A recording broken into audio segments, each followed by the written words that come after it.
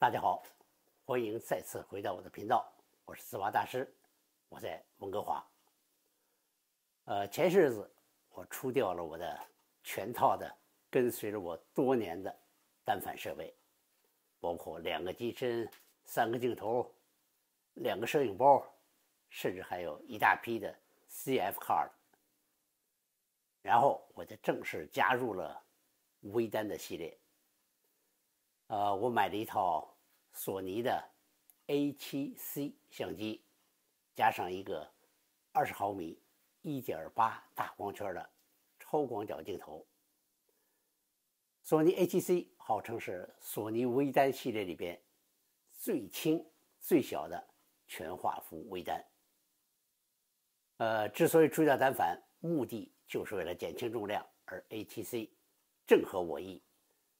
所以现在出去带着 A7C，一点负担都没有，比原来那个套单反轻了和小了，那不是一点半点啊。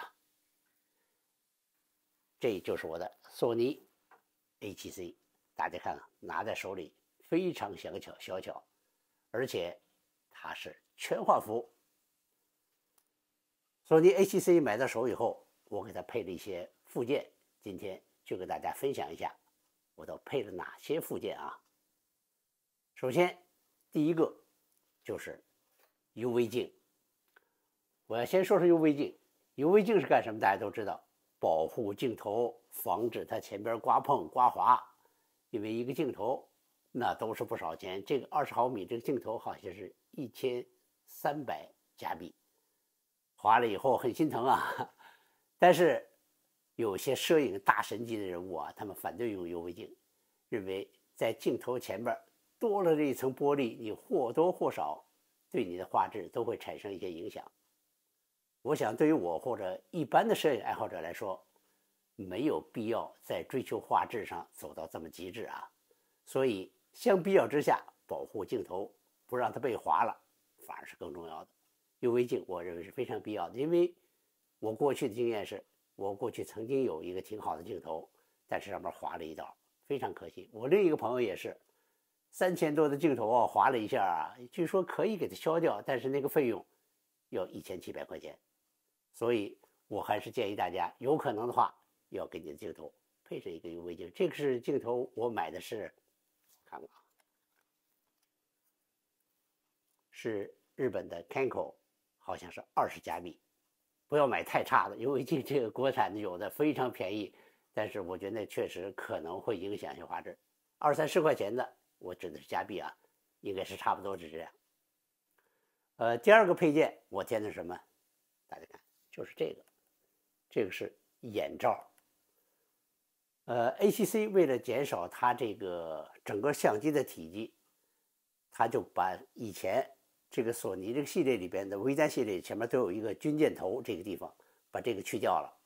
军舰头原来是取景的，现在去掉它以后，取景器就挪到了最边上。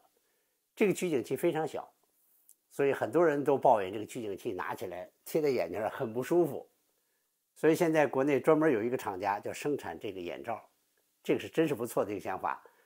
呃，它是通过眼罩呢，它是安装在这个热靴这个说靴座上。然后，只要一插，严丝合缝，而且它是橡胶的，贴在眼睛上非常舒服。这样出去拍照的时候，哪怕中午大太阳的情况下，你在取景的时候都不会受到影响。这个很便宜，好像是十二加币。这是第二个附件啊。呃，还有一个附件呢，就是当时索尼 A7C 很多网友也觉得。它这个手握这地方不是很舒服，它太小太窄，所以我们的手呢大一点，抓起来有点不太、不太、不太完美。这个地方，原来我是想看有一个手柄可以解决这个问题，但是一看那个手柄要一百加币，我觉得不值。这个时候呢，我就发现有另一个东西，就是有一个皮套，就是这个东西，专门生产为索尼 A7C 的。装上这个皮套以后呢，我们来给它装上啊。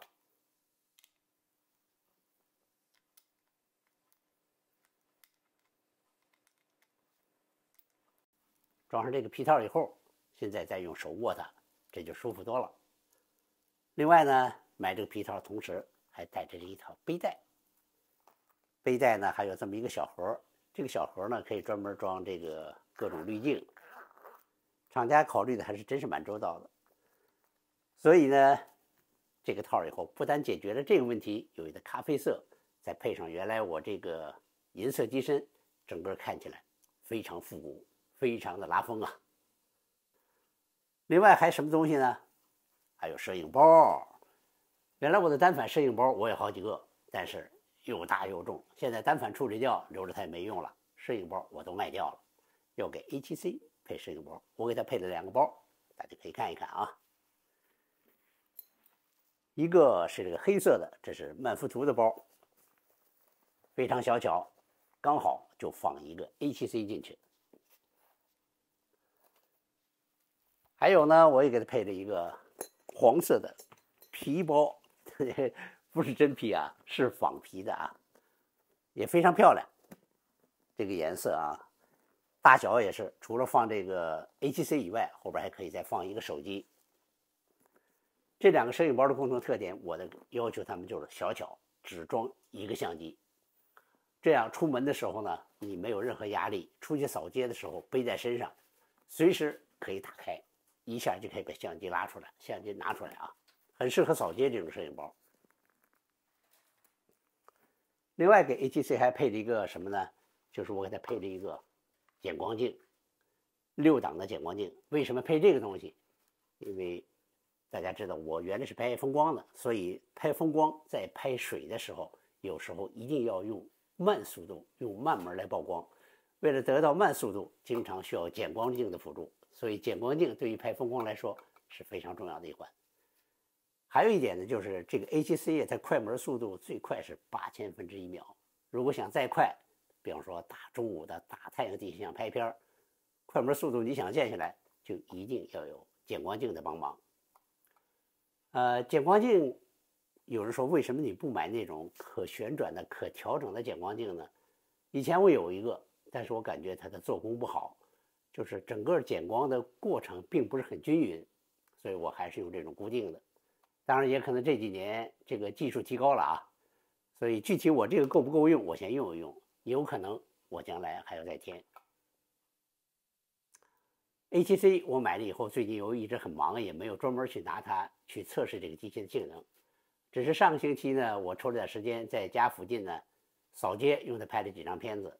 呃，今天可以跟大家分享一下我的感觉，就是第一，它的机身由于非常小巧，不像过去那么单反大长焦镜头那样那样 醒目啊，所以这样街头抓拍不那么引人注目。第二呢，就是我拍的时候呢，我可以用它这个侧翻屏，这样我这样看着屏，所以呢，对面过来的人，我对他们也更少了一些侵略性啊，所以这个东西我觉得扫街还真是不错的一个选择。用这个小型的 A7C，呃，风光的我还没用它测试过，等过一阵子我拍一些片子，然后再跟大家分享。好，本期视频就到这儿。如果你喜欢我的视频，欢迎关注、点赞并转发，谢谢。